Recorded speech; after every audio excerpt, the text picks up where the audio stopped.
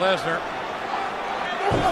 Driving that shoulder to the abdomen of, of Goldberg. And Goldberg getting his gut wrenched and now reverses Lesnar and knocks down Lesnar with a clothesline.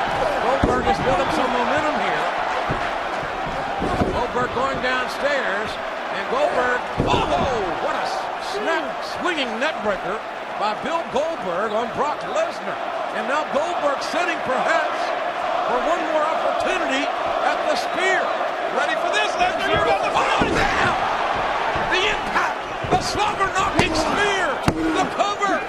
And what? And Lesnar kicked out at two.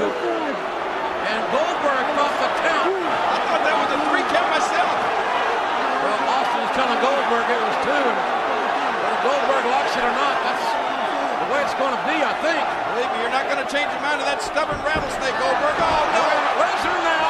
Down the ball too long. With the door open, Lesnar with the F5. Lesnar hits his finishing maneuver, the F5. And this is going to be it. The hook of the left. And oh, Goldberg.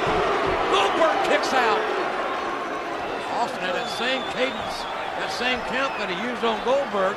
You're right. It looked like it was over there. Wait a minute. Now, Le- Lesnar is trying to tell Austin that that was a three count. Austin giving Lesnar two fingers. It could be worse. Lesnar thought it was three, and Lesnar now complaining as Goldberg did it was a slow count.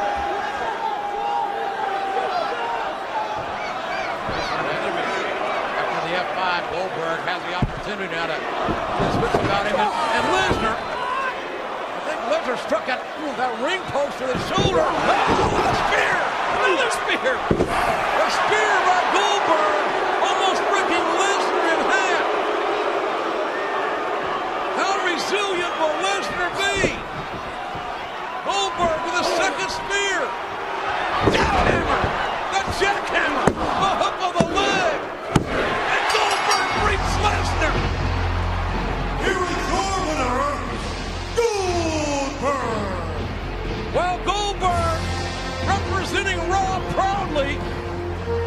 Defeating Brock Lesnar with a, a spear followed by the jackhammer as the rattlesnake raises Goldberg's hand.